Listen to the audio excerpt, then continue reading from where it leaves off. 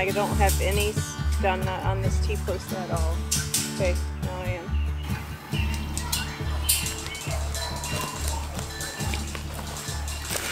So in previous years, we've used for our tomato plants wooden stakes.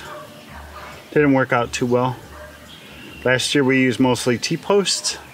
I No? used all wooden stakes. All wooden year. last year? Yep. Yeah, and it doesn't work out well.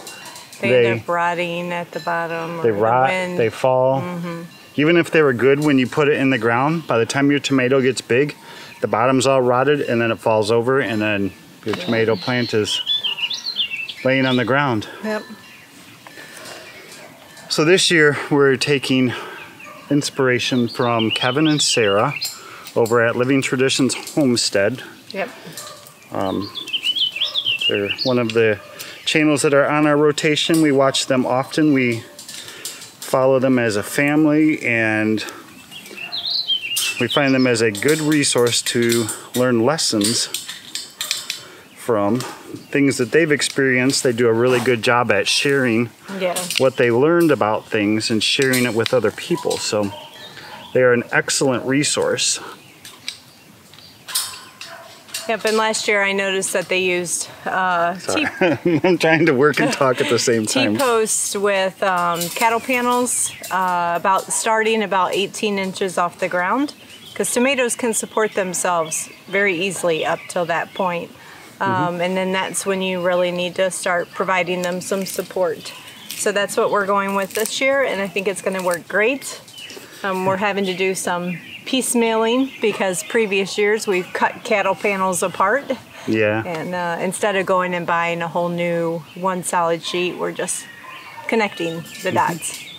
We have a lot of halves and Yeah. only two holes. Yeah. It's a lot harder to get a whole one home than it is to get halves. So, and you also bought the little plastic clip things, right? I to did. clip your tomatoes on, so we don't have to use that Velcro. The Velcro tape works well, It works great. Yeah. But you wanted to try those little clips because that's what Kevin and Yeah, Sarah it's more easy. Well, I think it too. It's more easily usable every year. It's hard for me to keep track of all that Velcro tape to use over and over again. So Yeah, true. I find little pieces of it here and there. Yeah, right. So if you're new here and you haven't been following my spring planting schedule, um, in between I have a tomato row going in here, a tomato row right where you guys are standing, and in between is a full bed of carrots. So um, carrots supposedly love growing with tomatoes, and I'm excited to um, see how that goes. Yeah. They're going to be friends. Yep. If you guys use that little Velcro tape that Rachel used on our tomatoes, and if you ever, man, the sun's bright. If you guys ever come out midsummer with one of those ultraviolet flashlights and try to look for those hornworm tomatoes, those flashlights work perfect for that. You can, those tomatoes or worms will like shine and glow. That little Velcro tape also glows. and so it gets really confusing when you're trying to find worms and you see them everywhere and you have to figure out which one is the little Velcro tape and which one's the worm. Yeah. We'll have to do a video about that this year. We, uh, we've been doing it for a couple years. Come out at night, shine around with that little flashlight and pick off those worms.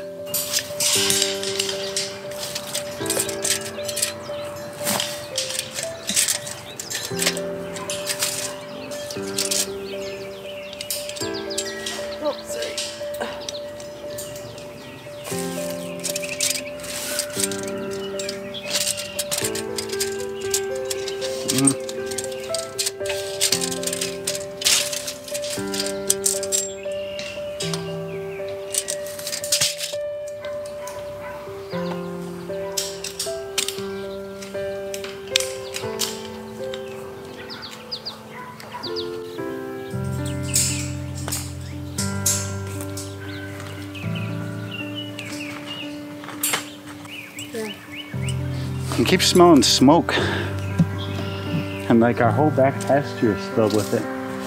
But it smells like someone's burning garbage.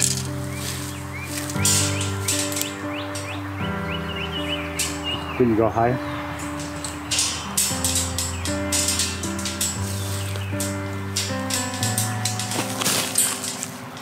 You guys cracked me up the other day with the comments about my uh, Osama bin Laden look that I had going on with my with my extra long beard and my extra long shaggy hair and my hat on backwards. We were laughing at you guys. I was like uh, probably two months past due for a beard trim and a haircut.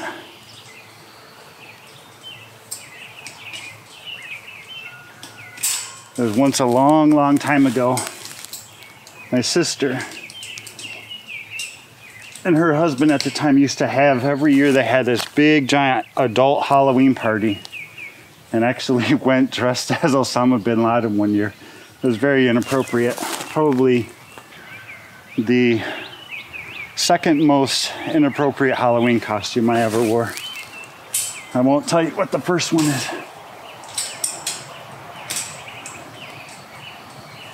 But COVID was really bad in Michigan, like really, really high case numbers. So I tried to avoid the barber shop for a while.